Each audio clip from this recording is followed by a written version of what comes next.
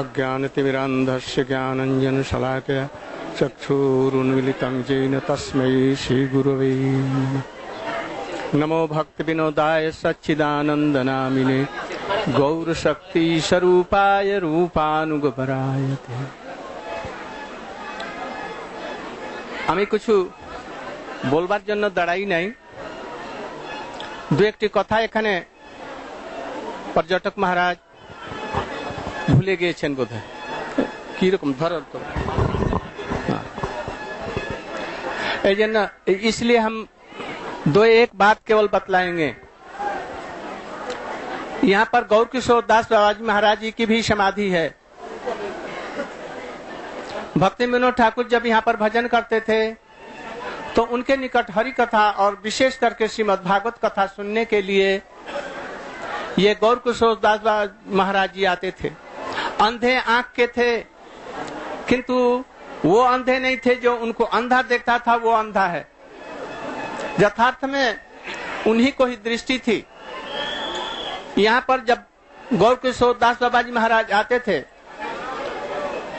तो सिर्फ़ विमलानंद सरस्वती ठाकुर जी, माने प्रभुपाद जी का पहला नाम, विमला प्रसाद जी, इनके भजन को, निष्ठा को देख करके उन्होंने कहा जी गौर किशोर दास बाबा जी को हम अपना गुरु बनाएँगे, दूसरे को नहीं बनाएँगे। किंतु गौर किशोर दास बाबा जी महाराज किसी को भी शिष्य नहीं बनाएँगे, ऐसा प्रतिज्ञा किया था। अब भक्ति इनमें दोनों में कुछ चला। वो कहते थे जो हम शिष्य नहीं करेंगे, और ये कहते थे जो आप ही से हम शिष्य होंगे। जब उन्होंने शिष्य नहीं किया तो उन्होंने खाना पीना यहाँ पर छोड़ दिया। चंद्रायण व्रत इत्यादि यहीं पर किया। और एकदम सुख करके कांटा हो गए। यदि कुछ दिन और ऐसा करते तो शायद शरीर को छोड़ देते। भक्ति विनोद ठाकुर जी ने उनसे कहा, गौर किशोर दास बाबा जी से। अजी, आप, आपका या साधुओं का कर्तव्य जीवों के प्रति क्या है? तो करुणा करना कर्तव्य है। भगवान के तरफ़ उसको उन्मुख करना उचित है। इसलिए तब आपको क्या करना चाहिए? ये लड़का इतना योग्य है, भगवान का भजन करना चाहता है और आप उसको दीक्षा मंत्र नहीं देंगे तो ये करुणा कैसे होगी? सुन करके वो निरुत्तर हो गए और अंत में उन्हीं को झुकना पड़ा, झुक करके उनको दीक्षा और हरिनाम दे करके उनको अपने शिष्यत्व में वर्ण करना पड़ा। ये गौर किशोर दास जी ने जब इनको कहा था जो कली के राज्य मत जाना कोलकाता में मत जाना, किंतु उन्होंने सबसे पहले कलकत्ते में ही जाकर के वहीं से प्रचार करके विश्व में प्रचार किया। आज ये जो विश्व में जो प्रचार देख रहे हैं हम लोग, ये सब भक्ति विनोद ठाकुर और श्री प्रभुपाद जी की कृपा से ही ये विश्व में प्रचार हुआ है।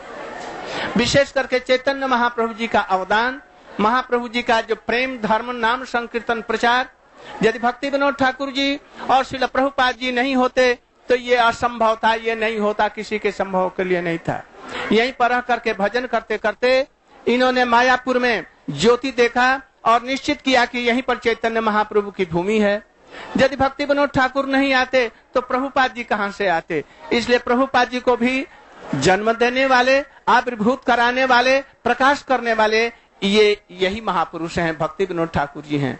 यहीं पर उन्होंने भजन किया था, आप लोग यहाँ पर उपस्थित हुए हैं। इनके चरणों में दंडोत प्रणति और भिक्षा मांग करके जो हमारे ऊपर में भी आप कृपा कीजिए, हम लोग फिर नरसिंहपल्ली के तरफ़ में चलेंगे। अधिक समय रहता तो हम लोग इसके संबंध में अधिक बातचीत बोलते, किंतु आज समय की कमी है। यदि हो सकेगा तो हम लोग अपने मठ में लौट करके देवानंद गौड़ी मठ में शाम के समय में भक्ति विनोद ठाकुर जी के संबंध में हम लोग अधिक रूप में बतलाएँगे। आज यही कह करके अपना वक्तव्य समाप्त करता हूँ।